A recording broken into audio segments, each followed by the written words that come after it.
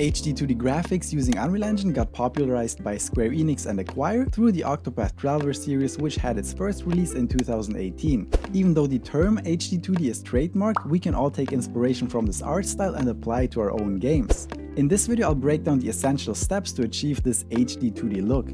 There are a couple of Japanese speeches and interviews from the dev team of Octopath Traveler, which I will summarize and on top of that give some more concrete advice on how to implement these things in Unreal Engine.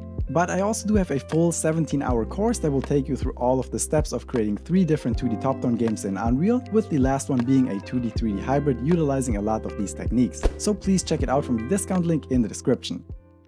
Let's get right into it. The first point is quite obvious, but the most important. And of course, you'll need to use pixel art characters. When Square Enix approached Acquire for Octopath, the requirement was to use 2D characters in a 3D world to mix nostalgic pixel art with modern rendering techniques, and Acquire had to figure out how to achieve that. With Unreal Engine, we can make use of Paper 2D, which is the built-in framework for sprite animations, and we can just import sprite sheets, turn them into flipbooks, and then apply those flipbooks to a paper character-based blueprint. Sprite sizes will differ per character, but as an example, Cyrus is 34 pixels tall and 18 pixels wide while other characters like Olberic can be taller and wider. These characters usually feature a color palette with pretty low saturation, and this NPC for example has 6 different main colors outside of black with ramps covering 3 to 6 tones. For top-down games, these characters will generally feature animations with 4 different directions covering left, right, up and down. 8 or 16 directions are also possible for smoother animations, but will drastically increase your workload.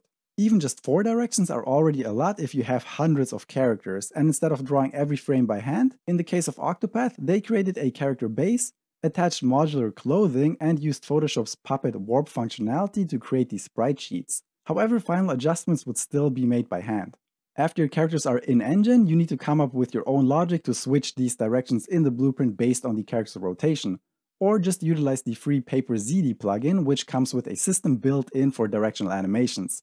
The next most important thing are the lighting and shadows, and this is where Unreal Engine really shines. By default, sprites and flipbooks won't cast shadows, but this can be enabled by just ticking a box. They also don't receive shadows or lighting information, and we simply have to change from the unlit sprite material to the lit sprite material to achieve that. In most cases, you want to adjust the directional light that simulates the sun to hit the characters diagonally from the front, so it casts an interesting diagonal shadow. Of course, you can then also place other light sources into the scene and also fake light such as god rays. In Octopath, there are also often scenes where you enter a cave and your character will hold a lamp that illuminates the environment. And this was actually one of the first things the development team prototyped still using Maya before moving into Unreal. This effect can be achieved by simply attaching a spotlight to the character and setting it to absolute rotation, so it doesn't turn together with the character and will always shine at it from the front. In one of the interviews, the art director Mika Iizuka mentions how just using particle effects wasn't enough, and they would also spawn point lights whenever an effect would play out to also illuminate the environment. But they were also still using Unreal Engine 4, so if you were to use UE5 and Lumen, you could just play out an effect and the emissive materials will automatically illuminate the surroundings. But Lumen comes with a high performance cost and you might not want to use it. The next most important thing are the camera settings, and just changing a few things here will make a huge difference. During one of the speeches, Iizuka-san mentions how during the first prototype in Unreal, the scale just didn't look right, and to achieve a perspective closer to retro pixel art games from the past, they angled the camera downwards and decreased the field of view setting. I found that pointing the camera downwards by 20 degrees gives us the nice top-down view. For the field of view setting on the camera, something between 35 and 45 degrees gives us a similar look to Octopath and makes buildings appear more miniature-like. Camera settings alone aren't quite enough to achieve this look though, and we'll have to utilize post-processing, which is another big strength of Unreal. According to Iizuka-san, they only used settings already available in Unreal Engine's post-processing volume and didn't have to develop any custom effects. They made use of color grading, especially using a strong gamma effect in dungeons to make them appear darker, but color grading is something I personally am not that great with, and I usually just slightly crank up the saturation and contrast, or use the settings that come from maps of artists that really know what they're doing. Bloom was another setting also heavily utilized, and this extends the glow of bright areas of an image, especially looking great on god rays, candles, and things of that nature. Here I tend to use a bloom intensity of around 1.6 to not overdo it. Lens flare is another setting they utilized, which you can also turn on with the click of a single button, and you can then play around with the settings like the bokeh size and threshold. But they also mentioned how lens flare can be problematic with a fixed camera game like this, and they would only apply it very lightly so it would mostly activate during sunrises and sunsets. They also mention how instead of using a skylight, they use the ambient cube map post-process setting to brighten up darker areas which aren't directly being hit by sunlight. Yet another setting they utilized is the vignette, which slightly darkens the edges of the screen. All you need to do for this is to change the vignette intensity setting, but you definitely don't want to overdo it.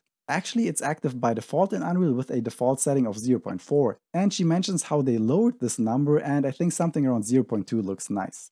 The probably most important setting to achieve this tilt shift miniature look though is depth of field, which allows you to make certain areas in your view appear more in focus, while making objects in front or behind that area blurred out. In Octopath Traveler and all other Square Enix HD 2D games, they use a bokeh depth of field, and you can still use that in Unreal Engine 4. However, since UE5, the depth of field was completely changed, and we now only have access to the cinematic depth of field, which is nice but will look slightly different. Covering all of the settings here would take too much time and I actually have a separate video about this.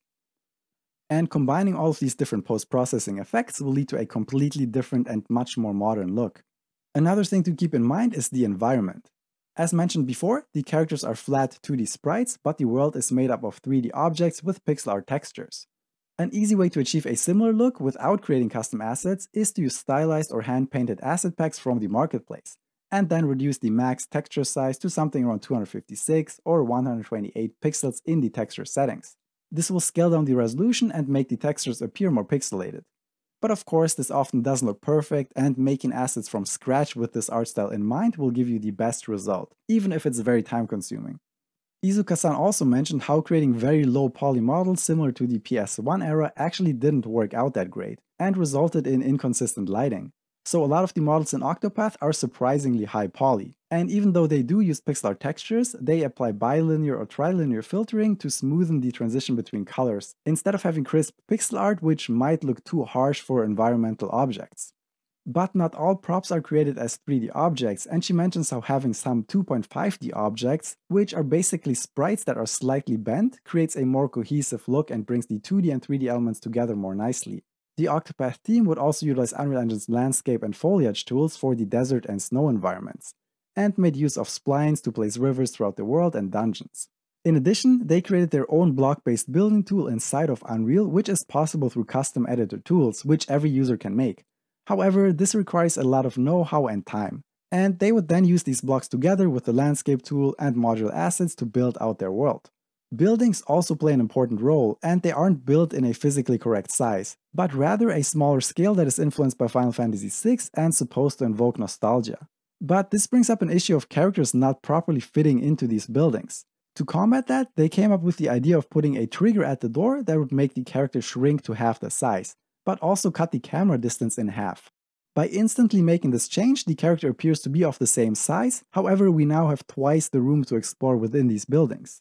Another important effect is the ability to mask out objects in the foreground that would obscure the view to your character. This is something they employed in Octopath, and it's also something I cover in my courses by creating material functions and a custom material that detects the position of the camera and if objects are blocking the view.